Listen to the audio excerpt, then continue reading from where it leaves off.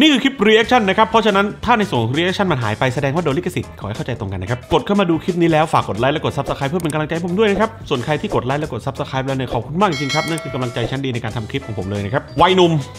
2544 เรื่องต่อจากโฟคิงของพี่พุทธนะครับเป็นโปรเจกต์ที่แกเกินเกินๆไว้เราก็รู้กันอยู่แล้วนะ ว่าเขาจะมีหนังเรื่องต่อไปจากโฟคิงก็คือ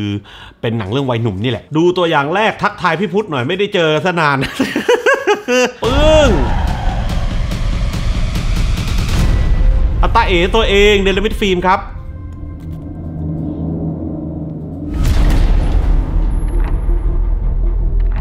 ณ ทันทสถาน สุภาพสิงห์เผือกบ้านมึงอยู่ฝั่งทนนี่เอ้า งั้นมึงก็อยู่บ้านของเตยแล้ว ไป ไปเที่ยวทะเลมาแล้วครับ สงสัยอะ โอ้ยยะโอ้ยจ๋า ตบหน้าหัน ตบหน้าหัน อย่าคิดมาก อย่าสร้างปัญหาอย่าอย่าต่อต้านกูจำไว้เดชสวยอะ ขอได้ปะงานโปรดักชันดูดีครับ งานโปรดักชันดูดีถอนช่วงนี้บ้านฝั่งทนแม่งเงียบๆเพราะว่าเย็ดเป็นไงเฮียมึงช่วยกูวะกูไม่ได้ช่วยมึงช่วยไอ้เฮียนี่เออเออเอาคิรูฝรั่งเออใส่เลยในเบียร์สุดใจล้างบางกับกูหน่อยเปล่า เอาดิแล้วเจอกัน โอ้ยแสดงว่าจะไม่แบบไม่ดราม่าจ๋า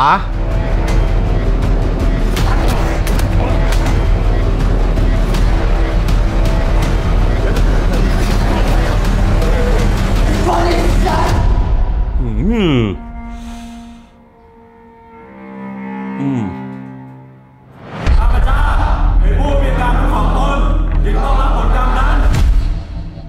28พฤศจิกายนนี้ครับ ถ้าใครได้ดูโฟคิงมาแล้วก็ก็จะรู้นะว่ามันจะมีติดกลิ่นของแบบเออพวกดราม่า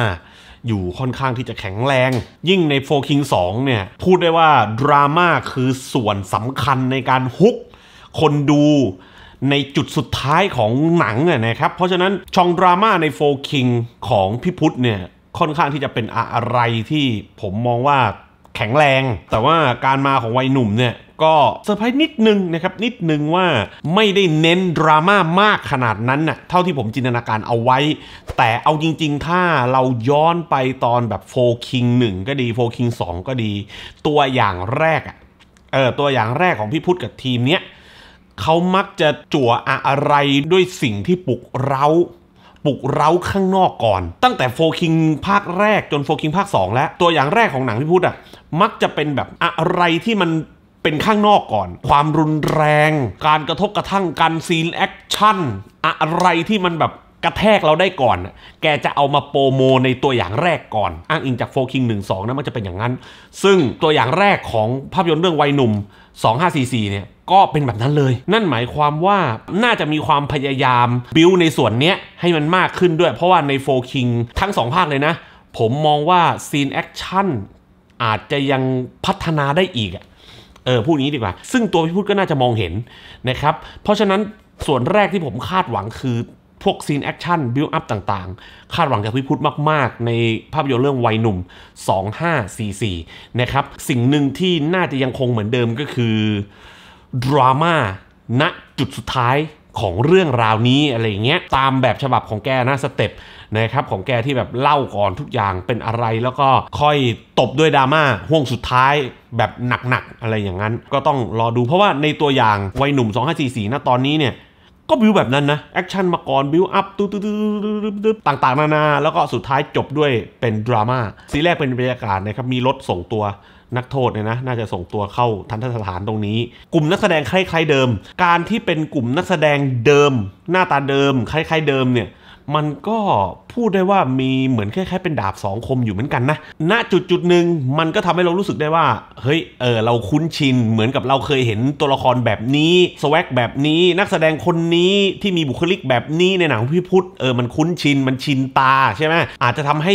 ณจุดจุดหนึ่งเนี่ยมันรู้สึกโอเคสำหรับคนดูบางกลุ่มถูกไหมครับ แต่ว่าส่วนหนึ่งเนี่ยที่ผมมองว่าน่ากลัวก็คือการติด ภาพ นั่นหมายความว่าถ้าตัวพี่พุทธเองต้องการเล่าสถานการณ์หรือเหตุการณ์ที่มันนำไปสู่อะไรบางอย่างที่ต่างออกไปที่แปลกใหม่ไม่เหมือนเดิม มีเป้าหมายบางอย่างในการพาตัวละครทั้งหมดที่อยู่ในวัยหนุ่มเนี่ยไปสู่เมสเซจอะไรใหม่ ๆ ที่แกอยากจะสร้างขึ้น มันก็อาจจะทำให้เกิดการเปรียบเทียบ ทำให้เกิดความยากในการไปถึงจุดนั้นได้ ตัวอย่างเริ่มต้นให้เราเห็นตัวละครที่ชื่อว่าสุภาพสีเผือกนะครับ ซึ่งในนี้เขาบอกข้อมูลว่าตัวละครตัวเนี้ยคือบ้านเขาอยู่ฝั่งทน แต่ว่าณตอนเนี้ยเขามาถูกคุมขังอยู่ที่บ้านคลองเตย นั่นก็หมายความว่าตัวละครตัวนี้เนี่ยคือเหมือนเป็นน้องใหม่ที่นี่นะเออเป็นน้องใหม่ที่นี่นะครับเข้ามาได้วันแรก ๆ ก็เจอรับน้องตัวละครพี่เปอารักษ์ ก็มาแบบเอ้ยเลดสวยได้ขอได้เปล่าอะไรอย่างเงี้ยน่าจะเป็นบรรยากาศที่เด็กใหม่ที่เข้าไปที่นั่นต้องเจอมั้ง อันนี้ผมคาดการจากตัวอย่างนี้นะสถานการณ์ต่อมาที่น่าสนใจก็คือตัวพี่เป้อารักษ์เนี่ยครับขึ้นค่อมถือมีดอยู่ในมือนะแล้วบอกประมาณว่าเอากี่รูไอ้ฝรั่ง อย่างมันนะครับ แล้วก็ตัวละครสองตัวนี้นอนอยู่คู่กันนะ แล้วก็เหมือนกับว่าแบบสนใจล้างบางกันเปล่า นั่นหมายความว่าน่าจะมีความขัดแย้งหรือมีสถานการณ์ที่บานปลาย แน่นอนนะครับ ซึ่งนี่แหละน่าจะเป็นส่วนหนึ่งที่นำพาไปสู่แอคชั่นซีนที่ส่วนตัวผมรอดูนะ เออ รอดูนะครับ จั่วมาขนาดนี้มันต้องแบบหวังกันนิดนึงอะจั่วขนาดนี้มันก็ต้องหวังกันนิดนึงอะนะครับว่าซีนแอคชั่นที่ที่จั่วมาที่กำลังจะเกิดขึ้นเนี่ย ตัวหนังมันจะพาเราไปถึงจุดไหน หลังจากนั้นมันก็จะเป็นบรรยากาศในคุกที่แบบเต็มไปด้วยความรุนแรงนะ เน้นไปทางจุดนั้นก่อน แต่ในความรุนแรงนั้นมันก็จะมีโมเมนต์ที่เป็นดราม่าที่เขาเตรียมขยี้หยอดเอาไว้ช่วงท้ายตัวอย่างอยู่แล้วนะครับ เพราะว่าอย่างที่บอกนะ ตัวอย่างแรกเขาคงคิดในมุมประมาณนี้ว่า ให้มันเน้นไปที่แอคชั่นหรืออะไรที่มัน hook คนดูให้ได้ก่อน เดี๋ยวรอดูตัวอย่าง2นะครับ น่าจะได้เห็นเส้นเรื่องหรือปมดราม่าของตัวละครบางตัวเพิ่มมากขึ้นอีกนิดก็คือมีเบาะแสมากขึ้นอีกนิดนะครับในตัวอย่างที่ 2 ซึ่งผมเชื่อว่าไม่อีกไม่นานหรอกครับ น่าจะมีตัวอย่างที่ 2 ให้ดูเผลอๆอาจจะเป็นแบบช่วงสิ้นเดือนนี้หรือต้นเดือนหน้าเลยอะไรอย่างเงี้ยเพราะว่า 28 พฤศจิกามันก็ไม่นานแล้วนะครับไม่นานแล้วไม่นานแล้วนะครับก็ประมาณนี้นะครับวัยหนุ่ม 2544 ส่วนตัวผมนะณตอนนี้นะ อยากดูเออเพราะผมว่าสไตล์พี่พุทธอะเล่าหนังทรงเนี้ยเชื่อมันมันมันมันมันอะ เล่าแกเล่าหนังทรงนี้มัน ตั้งแต่โฟคิงหนึ่งและ2แล้วผมรู้สึกว่าเป็นหนังที่อย่างน้อยๆฝากผีฝากให้ได้ ถ้าเปรียบเทียบกับตลาดหนังไทย ในปัจจุบันที่ต่างก็พยายามนะเออมีทั้งถึงมั่งไม่ถึงมั่งอะไรมั่งอะไรเงี้ยแต่หนังพี่พุทธเนี่ยถือเป็นหนังไทยที่อยู่ใน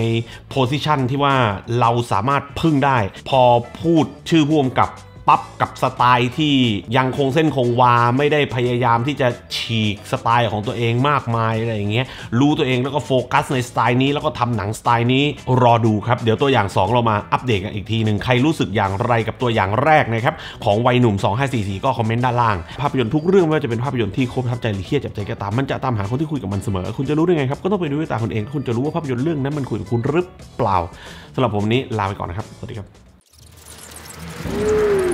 ณดงโดนเอาบ้านด้อมน้ำถูดมีตำนานเล่าขานต่อกันว่า ในช่วงฮาโลวีนของทุกปี ชาวบ้านที่นี่จะกลายเป็นฆาตกร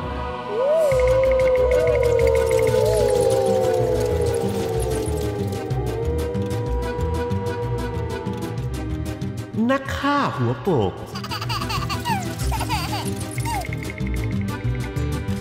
นักฆ่าเริ่มฆ่าจากพี่สาวตัวเอง นักฆ่ารับจ้าง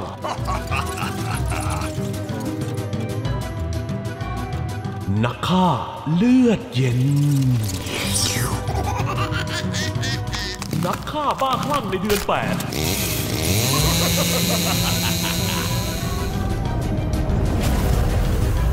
นักฆ่ายามวิกาลเครื่องจักรสังหาร Program terminated. ปีศาจขอขอบคุณเหล่านักฆ่าทุกคนที่สนับสนุนกันตลอดมา แฮปปี้ฮาโลวี